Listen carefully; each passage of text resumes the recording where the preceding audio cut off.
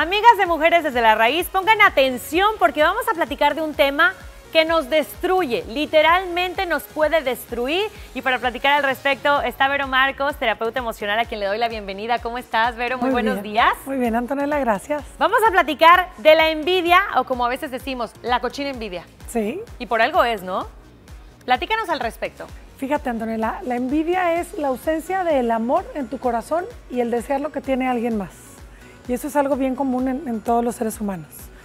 aquí la idea es cómo saber controlarla, ¿no? Porque la envidia de la buena, que dice mucha gente, ay, tengo envidia de la buena, es envidia. Ah, yo a veces digo esa expresión, te envidio, pero de la buena.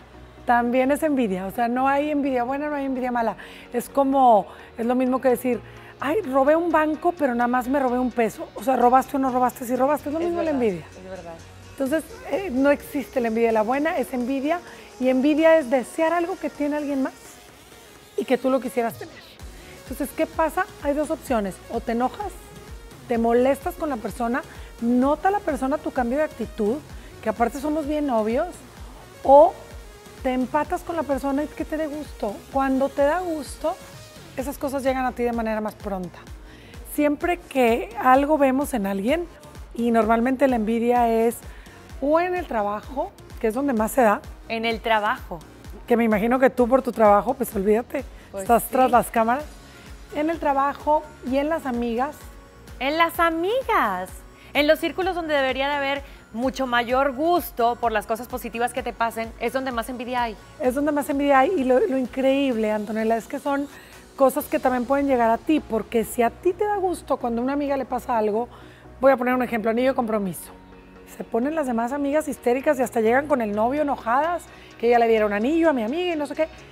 Cuando debes de empatarte con la alegría de tu amiga y decir, oye, qué padre, al rato sigo yo. No sé si me explico lo que te estoy diciendo. Totalmente, o sea, mejor subirnos al carrito de la alegría, del gusto, para poder atraer esas buenas decisiones o situaciones a nuestra vida. Exacto, porque cuando ya están pasando esas cosas, Antonella, es que ya se están acercando a ti. O, por ejemplo, cuando le dan coche a alguien, o alguien compra un coche y te mueres del coraje o sea, si ya el coche está ahí en la casa de tu amiga, es que ya viene hacia ti el que sigue. Pero cuando te da envidia, cierras ese canal. O sea, cierras ese canal, esa energía, esa vía, como lo quieras llamar, y alejas más de ti las cosas en lugar de acercarlas.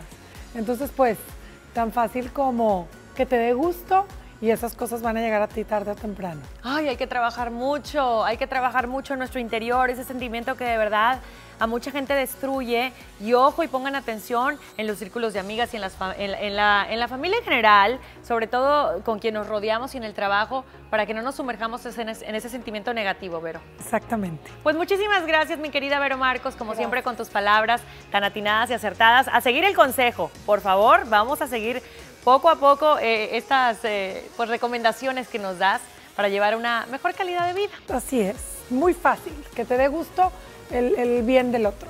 Es verdad. Pues continuamos con más en Mujeres desde la Raíz. Vamos contigo, Elsa Verónica.